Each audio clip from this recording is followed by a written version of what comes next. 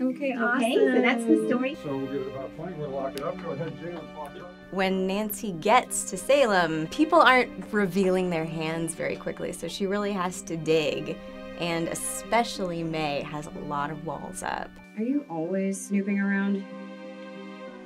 Are you always snooping around? When I'm working behind the mic on this game, I'm feeling things emotionally in a way that I don't when I'm doing a silly cartoon character. We need to get out of here. We need to get out of here. I'm nothing like Mei. I'm a pretty happy, goofy person, but for some reason, once I started playing her, I really got her. She has been hurt a lot, and the more times people prove to you that you can't trust them, the bigger the brick wall around you is gonna be.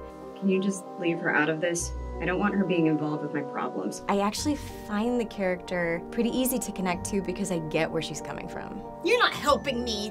You never helped anyone. In some ways, playing strong emotions is the fun part. You don't always get to go to a really meaningful place in a video game. When you think about all the things that she wants, like she desperately wants to be accepted and she's terribly afraid of some things. I mean, it's acting. That that's that's when the capital A acting comes into play and it's really great to get to do some capital A acting in this game.